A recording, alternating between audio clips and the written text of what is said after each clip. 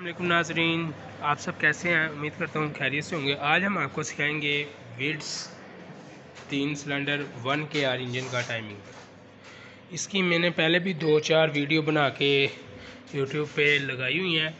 उस पर भी मुझे काफ़ी रिस्पांस मिला था। तो ये जी, सबसे पहले हम केम की तरफ़ देखते हैं। ये केम के जो फ़र्स्ट हुड होते हैं, एक नंबर ये दोनों नीचे की तरफ़ बैंड हुए हुए हैं, झुके हुए हैं।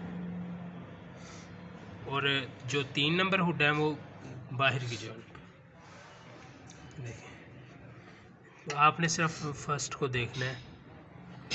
ये नीचे की तरफ़ बैंड है, आमने सामने। और ऊपर से केम का निशान, ये गवर्नल के ऊपर, ये है, ये। और ये चैन का जैनमन निशान है।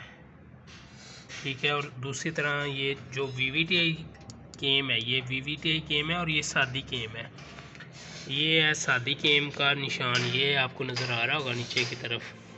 ए, ये है। ये। ये जर्मन निशानों पे है अभी।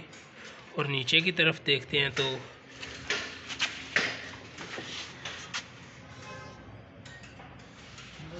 ये निशान है। नीचे की तरफ़ ये निशान है। ये आप देख सकते हैं, ये इसके नीचे है, डाट का निशान है। ये उसके ऊपर ये येलो कलर का चैन का हुड आया हुआ है।